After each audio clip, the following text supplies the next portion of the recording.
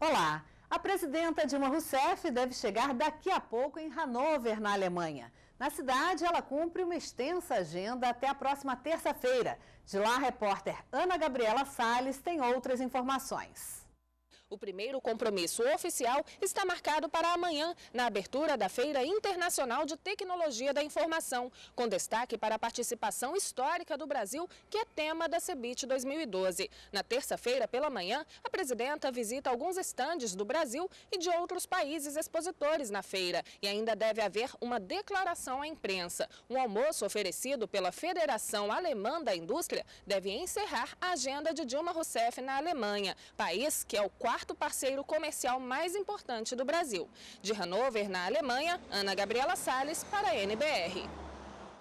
E a qualquer momento nós voltamos com as imagens da chegada da presidenta Dilma Rousseff e da comitiva brasileira em Hannover, na Alemanha. Continue com a gente, NBR e a TV do Governo Federal.